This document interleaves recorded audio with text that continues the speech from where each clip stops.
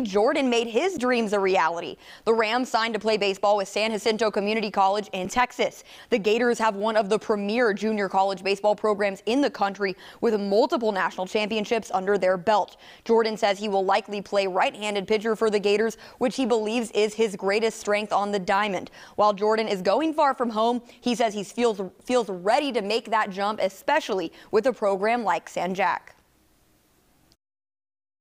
It's a perennial JUCO. They're top notch. Um, hear a lot of good things about them. Done very well in the past. The environment, the coaches, uh, the reputation the school has is, is awesome.